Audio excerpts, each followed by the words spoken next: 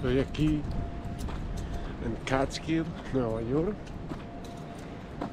Estoy, este, estoy un poquito cansado porque estoy subiendo la, la montaña aquí.